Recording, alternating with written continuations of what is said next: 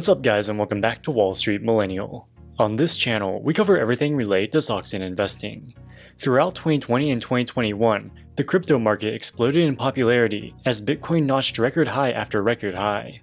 The early Bitcoin advocates looked like geniuses and made billions of dollars in paper gains. Crypto transformed from a fringe experiment to a legitimate asset class, and institutional investors finally started taking it seriously. Bank of America even established a crypto research team because there was so much interest from their clients. This legitimacy was further enhanced by the direct listing of Coinbase, which debuted at a valuation of $86 billion. People started talking about how crypto and decentralized finance would revolutionize the economy and disrupt the traditional banking industry.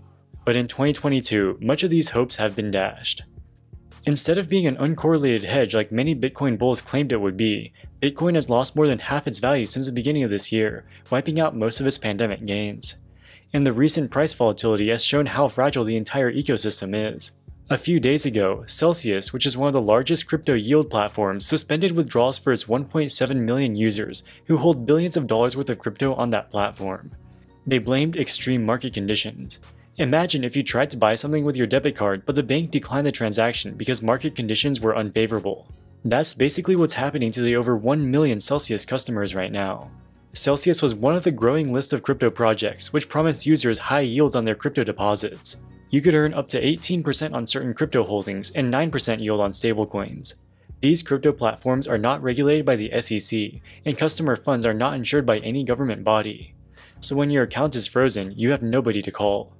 Now that Celsius has frozen its customers' accounts, people are starting to doubt the viability of crypto as an asset class. And this Celsius disaster comes just a few weeks after the Terra stablecoin collapse, which saw investors lose upwards of $40 billion. Many view this as the entire house of cards falling down. If people keep getting burned on new crypto projects like Terra and Celsius, eventually they could say enough is enough and stop investing in crypto altogether. That's one reason why we're seeing Bitcoin free falling. Crypto companies like Coinbase are laying off thousands of workers, as many analysts think that we're heading into a new crypto winter. But given the scale of the recent disasters and how much confidence has been lost in the system, we could be at the beginning of a crypto ice age and the markets may never fully recover. The recent Terra and Celsius disasters show how risky unregulated crypto projects can be, with many investors losing their life savings overnight. That's why I use Moomoo for my investments, which is also the sponsor of this video. Moomoo is a commission-free trading app that allows you to invest in US stocks, ETFs, and even Hong Kong listed stocks. Importantly, it is regulated by the SEC, FINRA, and SIPC. That means that customer securities holdings are protected up to $500,000, so you can rest assured that your stock portfolio is secure. Currently, Moomoo is running one of the most lucrative promotions in the industry. If you open a new account and deposit just $1, they'll give you 6 free stocks.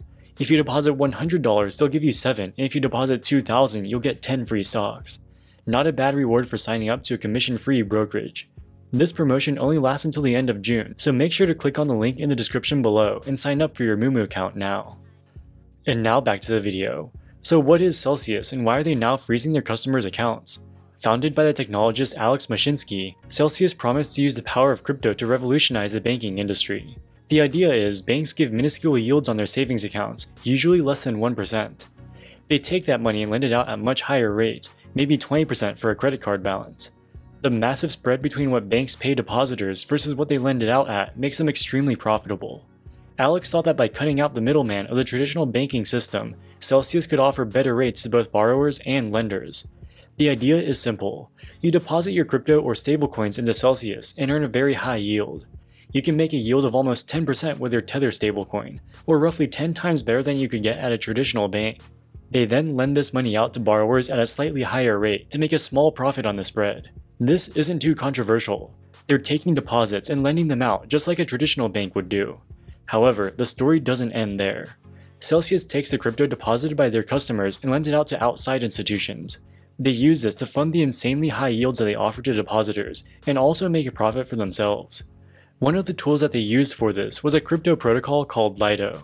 Lido allows you to earn staking rewards on various cryptos, most notably Ethereum. Ethereum is the second largest cryptocurrency after Bitcoin. It's quite a complicated system and there are actually two Ethereums. There's the legacy chain as well as a newer one called the beacon chain. At some point, the two chains are supposed to merge to create a new unified Ethereum. Because they'll merge at some point into the same coin, the value of the two coins should theoretically be exactly the same. If one version falls below the other, you could buy the undervalued one and short the overvalued one to make a guaranteed profit once the merge happens. You deposit your Beacon Chain Ethereum coins into the Lido network, and in return they give you stETH coins.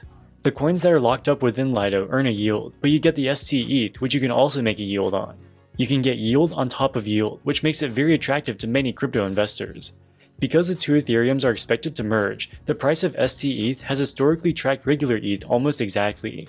But a few days ago, this peg broke down, with stETH trading at a significant discount.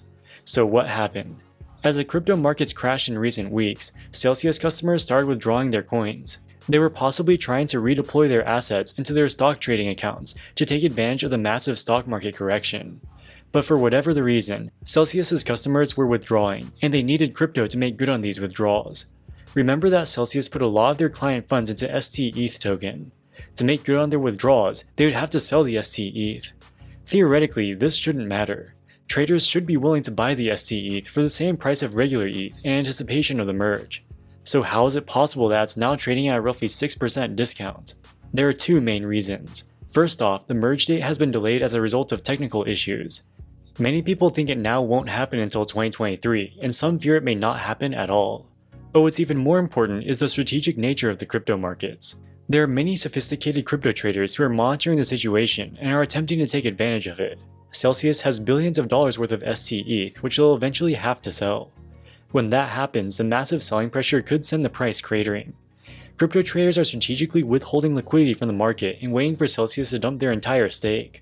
Why buy ST now at a 6% discount when you could wait and buy it at a 10, 15, or even 20% discount? This puts Celsius in a disastrous position. They need to sell now to make good on their clients' withdrawals, but if they do this, they would make such a giant trading loss that they wouldn't have enough money to fund those withdrawals in full. That's why they were forced to freeze the accounts of their 1.7 million customers. Now they're in a high stakes poker game with the broader stETH market to see who will blink first. Celsius founder Alex Mashinsky says that they are working around the clock to find a solution to the problem.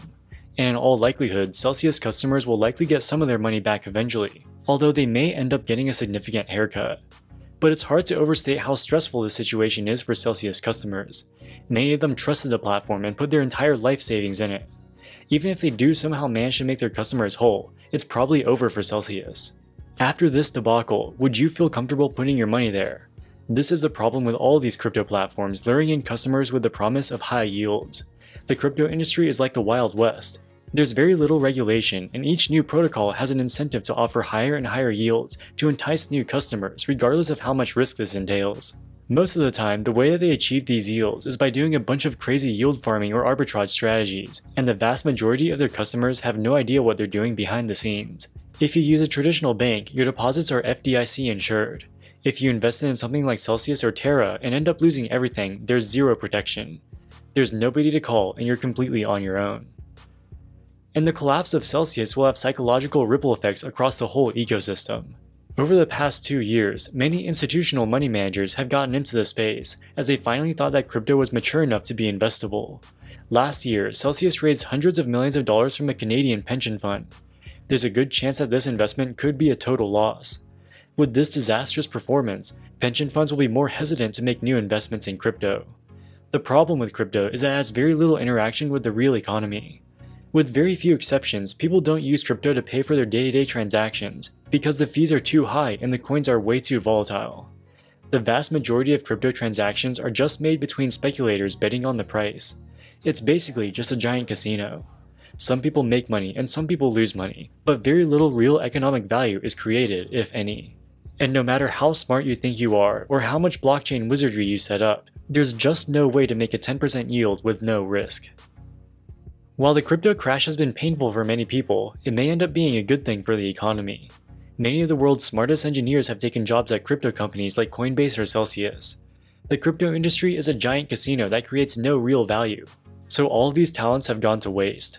Now that the bubble has finally burst, these crypto companies are laying off their workers hand over fist. While we can sympathize with these now unemployed workers, at least they now have the opportunity to find a job in the real economy and contribute real tangible value to society. Alright guys, that wraps it up for this video. What do you think about the Celsius fiasco? Do you think it spells the beginning of a new crypto ice age? Let us know in the comments section below.